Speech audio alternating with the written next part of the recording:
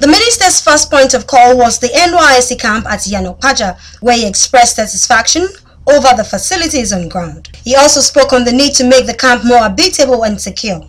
At the NYSC Secretariat, the Minister of Sports and Youth Development encouraged the staff to be more dedicated to duty and also shun every act of corruption. He also said the scheme has played a great role in the nation's unity campaign.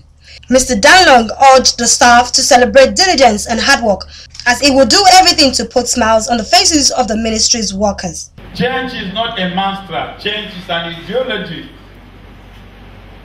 It should not be left for the president alone to change. Every individual Nigerian should also change. If we change our individual attitude, we must not be told the country itself will change. NYSC Director General Brigadier General Johnson Olawumi described the visit as a needed morale booster for the staff.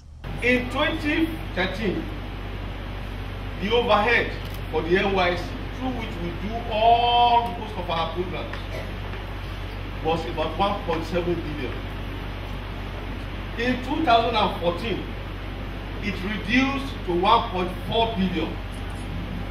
In 2015, the whole overhead for the NYC was 270 something million, which was just 18% of what we used to get. The visit also provided the opportunity for interaction between the minister and the NYC workers.